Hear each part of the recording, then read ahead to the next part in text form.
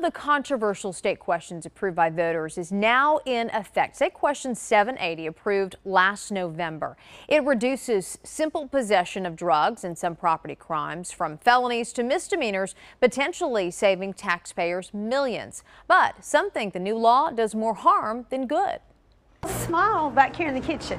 Rhonda Bear knows second chances. I have been previously incarcerated. I received a 10 year sentence 15 years ago, and it saved my life. She re entered society a new woman and now helps others like her. For Bear, prison reform is a must. Oklahoma is desperate and knows that we have to do something. Bear thought State Question 780 was the answer, reducing the number of people in prison, potentially saving taxpayers millions.